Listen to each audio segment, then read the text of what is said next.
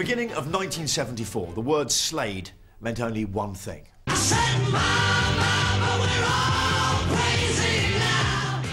Soon, however, Slade was to acquire a new and more significant meaning. It was to become the name of the country's most famous prison. Every week, when you saw that front gate and you heard the voice of the star sentencing himself to five years at Her Majesty's pleasure, you knew you were going to spend the next 30 minutes, and as it turned out, the next 30 years, enjoying what I consider to be Britain's best sitcom Porridge.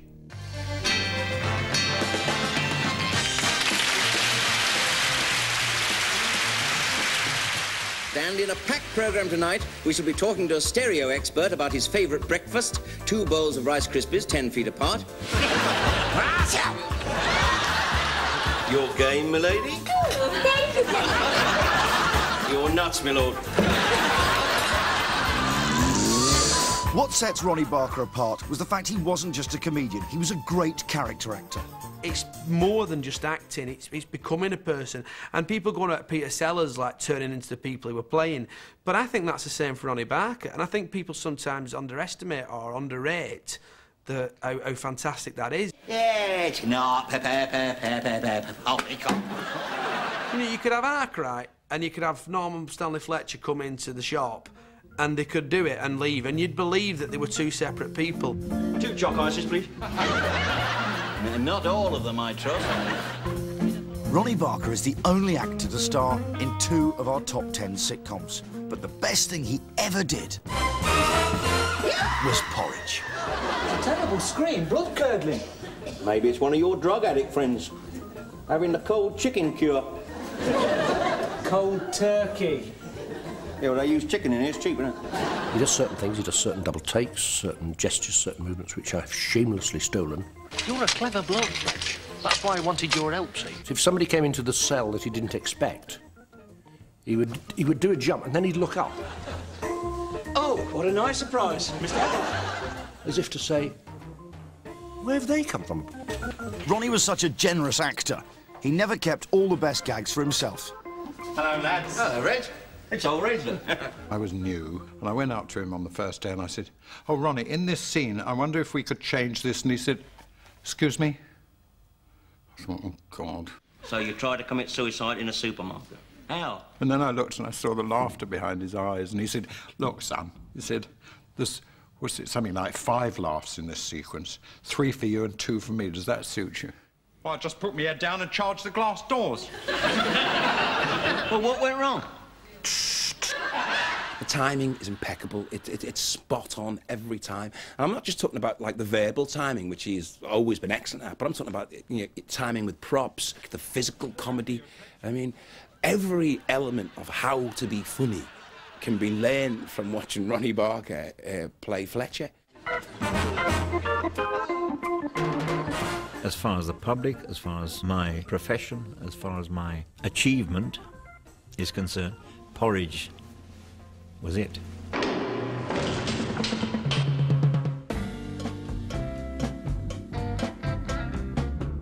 Somebody said to me, we're doing a sitcom set in a prison. I remember thinking then, how do we, how do we get laughs out of this?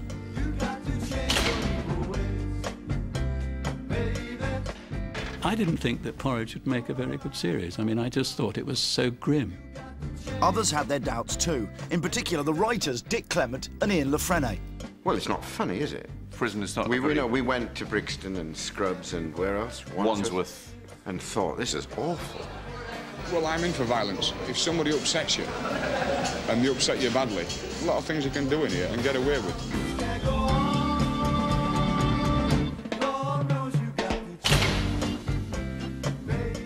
We had a, a drink at the RAC Club, a sherry, I remember, with the governor of Brixton Prison. Very nice man. Nice sherry. Uh, yes. He said the most depressing thing about it is the fact that most people inside have given up. There's a few people who are angry and rebellious, but there's far more of them who's basically you feel that life has defeated them. Didn't give us a laugh. No, it didn't give us a laugh. What they needed was a man on the inside, somebody like the criminal consultant on A Clockwork Orange, Jonathan Marshall. He had been inside prison, I think, for almost as long as he'd been outside prison. And while he was in prison, he'd written this book, How to Survive in the Nick. He said, obviously, most of what prison's about is just this endless, monotonous routine, and what gets them through the day is little victories. Little victories? Yeah. Yeah, told me that. Learning, ain't you? And that little victory might just be getting one extra scoop of potato, or getting something over the system. Little victories became the key to putting the comedy into porridge. Here, I forgot to tell you. When you see the doctor, tell him you've got bad feet. Why? Well, then you might get your brothel creepers back, see? Otherwise, you'll be stuck with prison boots, see? What might seem trivial when you're outside, in there it is a yes. Suffer from any illness? Bad feet. Suffer from any illness? Bad feet. Made a recent visit to a doctor or hospital? Only with me bad feet. Any way of getting a little advantage is highly prized, especially if they can get what they think is a little advantage over the authorities. Are you now, or have you at any time been a practicing homosexual? What were these feet? So that little victories is very important to many prisoners. You cannot actually beat the system. You can be clever and manipulate it. And if you haven't got enough brain matter in your head to play the system and you're just going a head-on collision with it, then you lose every time. You can't beat the system, Mr. Barraclough.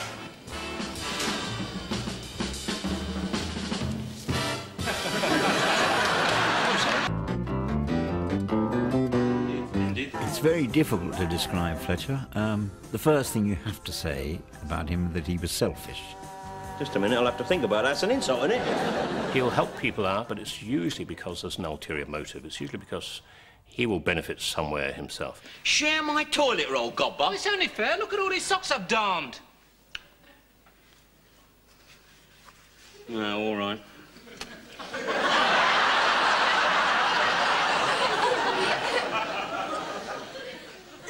Mind, down you go. The craftiest survives. Fletcher is the craftiest of the lot. All right, Fletcher, just don't let me catch you thieving, that's all. I won't. You want what? I won't let you catch me, Mr. Mackay. Two words sort of expressed Fletcher for Ian and me. If you'd burst into the room and said, World War Three's just broken out, you'd have said, oh, yes. Oh, he's up on the roof. Look, he won't come down. Oh, No, he's threatening to chuck himself over unless we answer his demands. Oh, In other words, until I see it with my own eyes, I won't believe it. oh yeah. That, that was a huge key to Fletcher. Nobody was going to put one over on him. He knew whatever angles the word he had, he had them. I managed to have a look at a memo on his desk. Upside down, of course. But then years of working in the Nick has taught me to read memos upside down, know what I mean? What did he say? It said, Ikifo emo late niddy flock. What they created, which has not been achieved that often in sitcoms, is a complete, believable human being. Oh, I just get a bit depressed at times, that's all.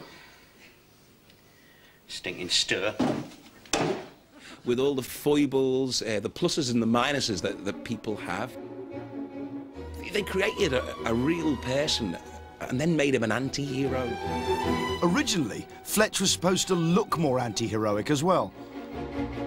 I've had a sort of heavier eyebrows between the eyebrows, which is, is, you know, is the, is the sign of a murderer, actually, isn't it? If your eyebrows are joined, I hope no one's watching this whose eyebrows are joined together. You don't have to necessarily be a murderer, but uh, often murderers do have this.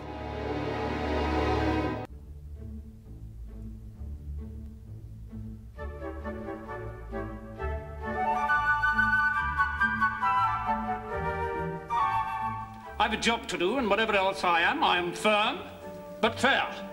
Eh? I want you to know that I treat you all with equal contempt. He wasn't awful, he wasn't cruel. Uh, he, he was hard but fair. I absorb it with cool Celtic calm, and then I relieve my frustrations by making sure that everyone down the line below me suffers. Um? Suffers! It commanded respect anyway, I think, the character. Feet will not touch the floor. Lives will be made a misery. I am back. And I am in charge here. Even Fletcher, although he would never admit it, I think he had a certain respect for him. And that, those crazy gestures. In my episode, somebody talks about Glasgow and he just starts to go. I once boxed for Midlothian boys. Oh? Who against Lanarkshire girls? Fulton based the character on a sergeant major that he'd had when he was in the army out in India. Before prison service, you know, Fletcher, I was in the army. I was a drill sergeant in the Argyll and Sutherland Highlanders. Are you like that offstage? No, I don't think so. You No, never I- bully anybody? do you? No, no, I wouldn't dare. But in rehearsals, Fulton did share some of Mackay's personality traits. Fulton really was um, an absolute perfectionist. I mean, he wanted to rehearse all the time. My house. My house reflects my wife. Big is it? Spotless. He often had about four, maybe four or five minutes in the show, and he would take up three quarters of the rehearsal time. Poppycock. We would spend ages wondering whether it would be best if he opened the door with his left hand, with his right hand, whether the salt was two inches to the right of the pepper. I was in the box once where Sid was shouting, Fulton, get on with it! All right. Fulton wouldn't have heard that, but uh, that was um, Sid letting off steam. Eventually, I had to say to uh, Fulton, I said, I've, I've got quite a lot in this. I must rehearse it. I must rehearse it. Because, well, just do it once more. Just, just, just go once more. So we did.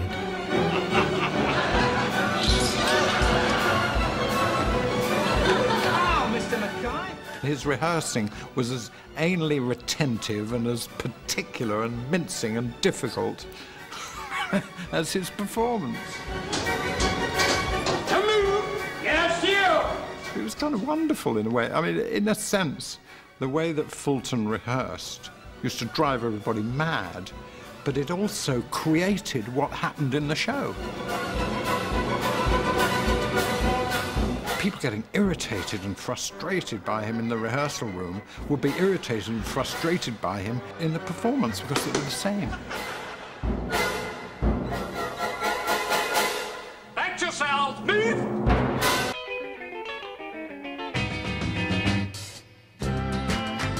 Me and my friend Michael always laugh at Brian Wilde because he's just like it's a great Arthur Askey on stilts, and he says that. But you see that screw there, that tall one standing up, the tall one, eh? Barraclough. Looks like Arthur Askey on stilts. well, I've got, I've got him like that, see? Putty in my hands, he. If you got a problem, don't care what it is. If you need a hand, I can assure you this. I can help.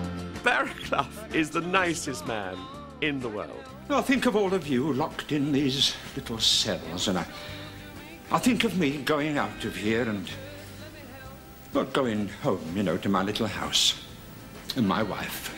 Sometimes a, a miserable character, somebody who's lugubrious, you can get a lot of fun out of. What's the matter, Mr. Barraclough? I sometimes wish I was in here with you lot. Certainly, Fletcher could exploit him in, in totally a, a different way to the way he had to deal with Mackay. It's their different approaches that provides the comedy between Mackay and Barraclough. Barraclough was supposed to represent the, the new face of social work in the prison service. Oh, well, I've always thought that the way to encourage trust was to show trust. The criminals, man. Then he's always, I think we should give them a chance. Let them learn that they can always. And he's like, never. No, they should be punished. And you trusted them. Now, what have I just told you? Once you turn your back on them, you're finished. You do feel as though, like, if Mackay wasn't there, then everyone would escape. In fact, he'd probably, like, open the door and let them all out. You better search this, hadn't you? She might have put half a pound of hashish in there. Go on, search. Go on. There's no need to adopt that attitude, Fletcher. You knew really that they were both hopeless characters in themselves. I mean, they were both as trapped by the Slade prison as the prisoners. Seem to mislead my pen. Where's my wallet? Mr. Barraclough, I've been mugged. Possible, sir. We've only been here a minute. I mean, we, we came in about... uh, uh,